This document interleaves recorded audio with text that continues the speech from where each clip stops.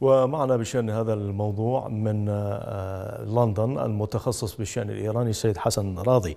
مرحبا بك سيد حسن. إذا نبدأ من صحيفة لاتستامبا الإيطالية التي ذكرت أن النظام الإيراني أنفق ملايين الدولارات على حروبه في المنطقة وهذا ليس بالأمر الجديد. ولكن كيف ترى أثر ذلك في الأوضاع الداخلية المتفجرة الآن؟ طبعا له أثر كبير في الأوضاع الداخلية حيث هذا العامل أي إنفاق إيران مليارات الدولارات على مشاريعها التوسعية في المنطقة ودعمها للإرهاب والميليشيات إضافة على الفساد الإداري وسيطرة الحرس الثوري على الاقتصاد الإيراني وال يعني سرقه المليارات الدولارات من قبل المسؤولين وحتى مصادرة أموال الناس المستودعة في البنوك.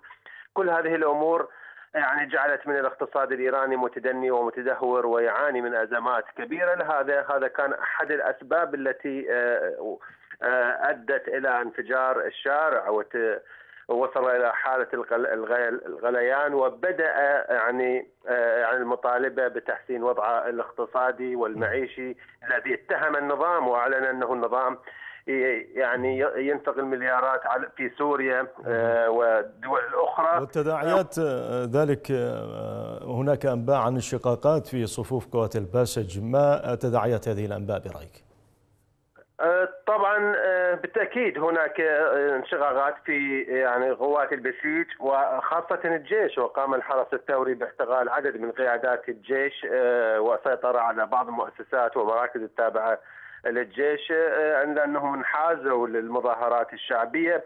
وبالتاكيد إذا إذا استمرت هذه الانشقاقات ستكون آثار يعني تداعيات خطيرة على وحدة الصف النظام الإيراني الذي هو أيضا يعني يعاني من انشقاقات كبيرة بين تيارات وغير ذلك وكثير عفوا المندوب الإيراني في الأمم المتحدة شكى من التدخل الأمريكي في شؤون بلاده الداخلية، إلى أي مدى يخدم التدخل الأمريكي هذا الحراك في إيران؟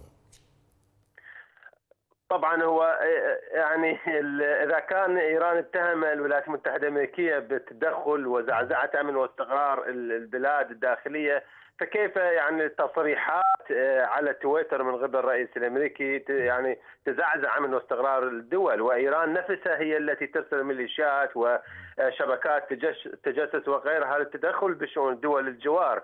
أنا أعتقد الحماية الأمريكية يعني إذا كانت يعني اختصرت على التصريحات وعلى كتابة تغريدات في تويتر وغيرها لا تأثر ايجابيا بل النظام الإيراني سيستقلها لتبرير قمعه الداخلي ويعتبرها يعني دعم. ولكن إذا تطور الأمر في الولايات المتحدة الأمريكية والدول الغربية وأصبح يعني الدعم ملموس وعملي بالتأكيد سينعكس سلبا على النظام وايجابا على المتظاهرين والمواطنين.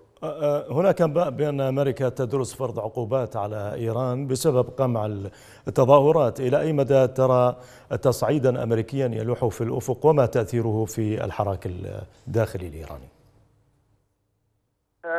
بطبيعه الحال إذا كانت الولايات المتحدة الامريكيه فرضت عقوبات هذا له أثر بعيد المدى وليس قصير المدى على المظاهرات وعلى الوضع الإيراني وعلى النظام الإيراني لكن بالتأكيد هو الأمر يرتبط بمدى تطور الاحتجاجات والمظاهرات في إيران. هل تتطور؟ هل تنتقل إلى مراحل أخرى؟ وعلى ما يبدو هناك مؤشرات أن المظاهرات والاحتجاجات انتقلت إلى مراحل أخرى حيث تم قتل ثلاثة من الحراس الثوري في كردستان. تم استهداف إنبوب نفط في الأحواز. آه وأيضا آه اضطرابات للعمال في مدينة عسلوية. آه وستنتقل هناك مؤشرات ودعوات ستنتقل اضرابات العمال على المدن الأخرى وهذا بالتأكيد سيطور من الأمر وسيكون له تداعيات وستتخذ سيزيد من القمع الإيراني وهناك أيضا ستكون هناك مواقف من قبل الدول الغربية تجاه هذا الأمر. شكرا جزيلا لك سيد حسن راضي المتخصص بالشأن الإيراني من لندن.